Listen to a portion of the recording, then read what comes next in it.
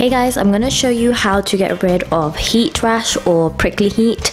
It's basically a goosebump looking itchy rash that you get usually when the temperature changes and it's like getting warmer. So yeah, I usually get it every year when it's like spring, summer, but usually I get it on my hands, but this year I got it on my face. So I'm gonna show you how I got rid of it. Take some oats and you can just use any kind of oats you have. I'm using oats, so simple Quaker oats. And then you just wanna get some natural yogurt and then you just want to mix them together in a bowl. Make a paste, use something to put it on your face. I'm using the back of a spoon, so it's going to be really cold when you first put it on. So the oats as a natural exfoliant and it decreases your clogged pores, takes away those dead skin cells. It also soothes the itching that you get from the rash, so you can also use it if you have eczema. And then the yogurt is the cooling sensation, so it will calm your skin down. And because it has lactic acid, it also makes your skin really soft and that will get rid of the kind of crusty, dry, cornflakey feel. So after you just apply it all over to your face, you just want to wait until it dries. It only takes about 20 minutes, but sometimes I'll leave it on for like three hours so that I just wash it off with some warm water. Because my skin is super dry anyway, and having a rash makes it even drier. I like to moisturize after using this uh, remedy, so I'll just take like